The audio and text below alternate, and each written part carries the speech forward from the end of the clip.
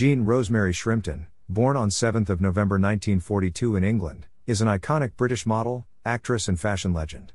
She rose to prominence during the swinging 60s, becoming one of the world's first supermodels. Jean's striking features, long limbs, and unique style revolutionized the fashion industry.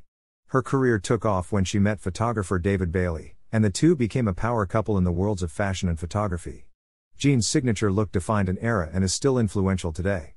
She appeared on numerous magazine covers, including Vogue and Harper's Bazaar. In addition to her work in fashion, she ventured into acting, although her film career was not as prominent as her modeling. She starred in movies like Privilege and Double Pisces Scorpio Rising. Despite her meteoric rise, she remained down to earth and modest, earning her respect and admiration. Jean Shrimpton continues to be celebrated for her contributions to the world of modeling and fashion, with her legacy living on through her iconic images and timeless style.